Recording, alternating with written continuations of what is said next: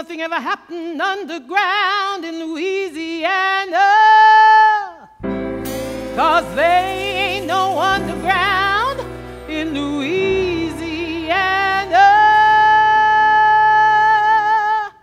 Tough and dreary and all disheveled, 16 feet below sea level, baby.